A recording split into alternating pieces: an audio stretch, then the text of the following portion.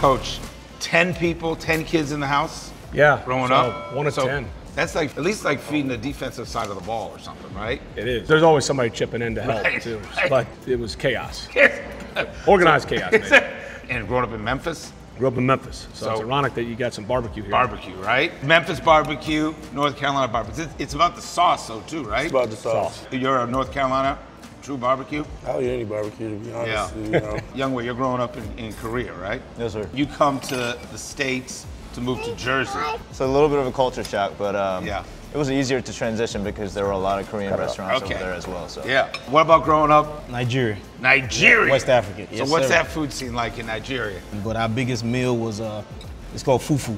Fufu. We had that once every day. Every day there's Every day I ate fufu. This is a good eater right here, right?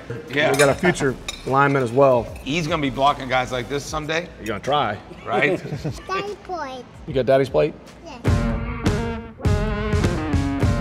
this is real soul food happening right here, right? The green fried tomatoes. Fried green tomatoes. It's all Atlanta. It's Atlanta right there. This is Atlanta. Yes, but I'm Right. very excited about that. It's fried chicken and wing. All right. so what excites you the most about being in Atlanta? It's so diverse, and a lot of people use that term now, but it's actually it's authentic. The food scene's unbelievable. Yeah. Talk about time discipline. You got to discipline yourself.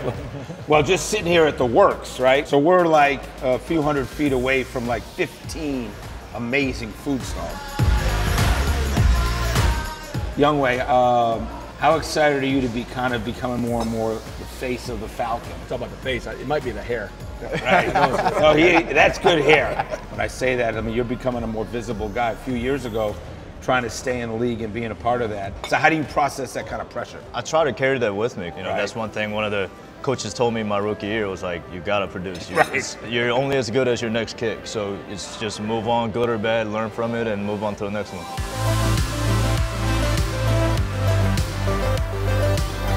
What do you notice about NFL players and their superstitions and, and eating and, and being ready for games and what they're like on game day? We have a nutritionist that Stephen Benjamin. He caters to these guys and knows what everybody does, like Right. what everybody needs. Like you be walking out of practice, and he has all these different like shakes and stuff, and it's all labeled. What do you eat game day? Are you eating on the uh, morning you wake up? Uh, nothing That's too much on game day. I'm the opposite. So I eat breakfast and lunch because I know I won't eat till dinner time. So I, What's your biggest weakness? Desserts aren't a problem? No, dessert's really not a problem. It's, it's more just like just, just snacking and stuff like that. right? How about you? Not a We'll, we'll get. sweets guy. You're not a sweets guy, huh? Well, that's why you know he's like the he's like the poster boy. He's got know. the hair, he's I know, got the the hair. whole thing, right? I know you're not gonna tell me that, Kenny. Come on. I'm really not a sweets guy, but I, but rice, rice is my weakness. Rice. Yes. We're talking about dessert. You're talking That's about what I'm saying. That's what I'm saying. How different is your diet off season versus during the season? First two weeks, I'm probably gonna eat whatever I want to eat. So season ends, yeah, those 10 days, right?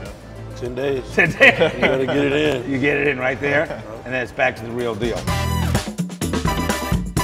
What's the great thing about being a head coach in, in Atlanta? Just a fun town to live in. Right. Like the people. Like to me, it's always about the people. Like the players in the locker room. And, Yeah. And the, and the character, and that'll never change. And you want to be around good people. Talked about diversity. Yeah. I think it's a really cool city. This is a real taste of the South. So. It's good to be with you, Coach. Thanks, Thank- buddy. thanks so much. Great to see you guys. to see you. Appreciate it. For having me. Kenny, go. My bad. see you. That was Uh, it was it was awesome. Dude, I mean,